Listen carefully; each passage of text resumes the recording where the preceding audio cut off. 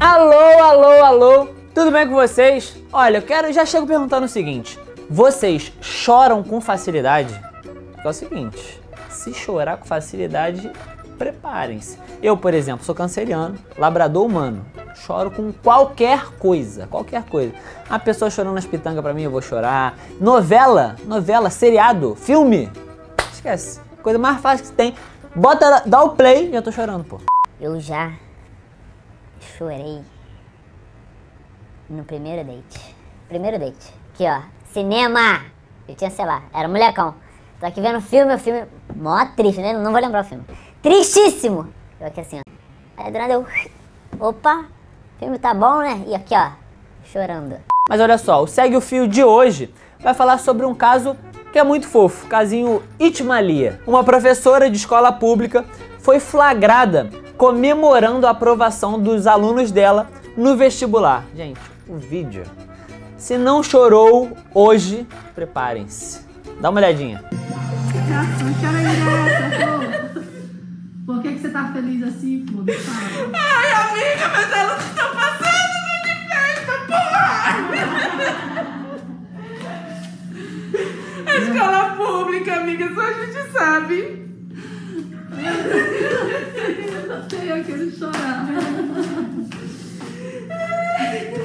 Só de ver esse vídeo aí, a gente já percebe o quanto ela ama a profissão dela, não é mesmo? Vídeos como esse, galera, faz até um carinho no coração, não acha não?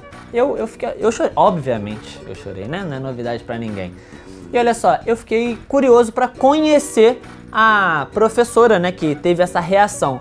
Convidei ela pro Segue Fio e para minha, sua, nossa sorte. Gostou desse nossa? Nossa. Para nossa alegria. E para nossa alegria. Então se inscreve no canal, deixa like, ativa o sininho. Eu troquei uma ideia com ela, foi muito maneiro. E olha, se você ainda não chorou, viu o vídeo e não chorou, minha última oportunidade que eu vou tô te dando é essa. Solta o vídeo de novo e já emenda na vinheta que eu volto contando tudo, beleza? Vai de vinheta e segue o fio. Não quero ir Flor. Por que, que você tá feliz assim, Flor? Fala. Ai, amiga, mas elas estão passando de festa, porra! A escola pública, amiga, só a gente sabe. Eu sei aquele chorar.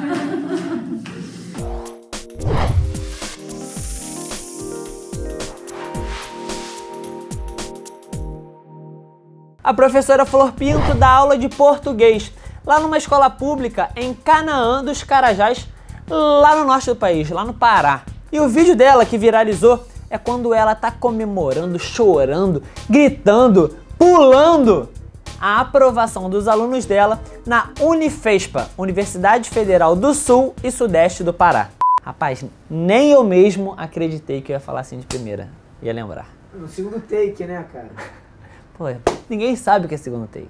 E depois de ver esse vídeo, eu perguntei pra ela: de onde vem tanta emoção, mulher? Me conta isso. É, eu choro com as mensagens que eu recebo das aulas, quando eles ligam as câmeras, assim, é, é, eu me sinto muito valorizado nesse sentido, sabe? E aí aquele momento é porque, velho, isso é uma lição da Unifesp, é a universidade pública. não é fácil, não é fácil entrar, não é fácil estudar, não não é assim uma coisa, ah, eu comprei, ah, eu, eu ganhei um. Eu ganhei um caderno. Não desmerecer do valor do caderno, né? Porque dependendo para quem você vai dar um caderno, ele tem um valor muito grande. Mas é algo que não é um bem material, é algo que vai te induzir para a vida inteira. A Flor trabalha na escola estadual Irmã Laura. E ela me contou que esse orgulho todo acontece porque ela vê de perto a realidade de cada um dos alunos nós estamos passando por um momento bem, bem delicado de, de problemas mentais, né, de dificuldades, de crises de ansiedade, é, como eu até reportei aqui para o jornal local. Sabe que é tu olhar teu aluno te mutilando, chegar todo machucado? Sabe o que é você, o aluno querer conversar e desabafar contigo só porque tu deu um bom dia diferente na sala? Sabe o que é ele chegar, professora, eu, eu, eu sofri abuso coletivo, né? É, eu contei para minha mãe, eu levei uma surra. Professora, eu saí de casa porque eu tenho uma opção sexual diferente. professor é isso, professor é aquilo. Então, antes deles serem alunos, eles são sujeitos de direitos, como eu. São pessoas que estão no momento da adolescência, são adolescentes, que a gente sabe que a adolescência é uma das fases mais conturbadoras da nossa vida. Né? E se a gente não tem uma base aqui na educação infantil, no fundamental, se a gente não tem uma base no início, é, é, fica mais difícil ainda no período da adolescência. No fim das contas, os professores acabam sendo amigos, psicólogos, enfim, parceiros mesmo desses alunos. E tem mais, né? Opinião aqui: professor tinha que ser a profissão mais bem remunerada desse país. Eu, para ser jornalista, tenho que passar por algum professor. Para ser médico, advogado, magistrado, qualquer coisa, você tem que passar por um professor. Então, nada mais justo que eles terem uma remuneração adequada, né? E tem outra. A educação é o caminho mais tranquilo para a gente ter uma sociedade melhor. Não é isso, Flor? Quando eu falo em educação, eu não só falo do nível superior. Sabe? Eu falo daquela educação humana, daquele olhar para o outro, da empatia, da equidade. Eu não posso cobrar de um aluno que tem determinadas é, é, é, deficiências ou de aprendizagem ou, ou pessoais, sei lá, da mesma forma que eu cobro com alguém que tem todo o tempo livre do mundo para estudar.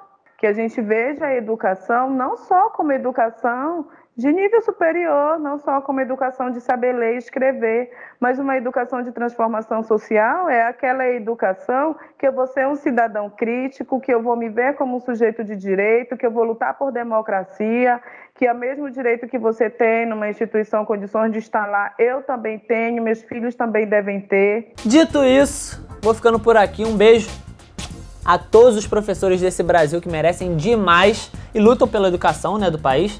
E olha, amanhã tem mais Segue o Fio, tô de volta e aguardo vocês, beleza? Fui!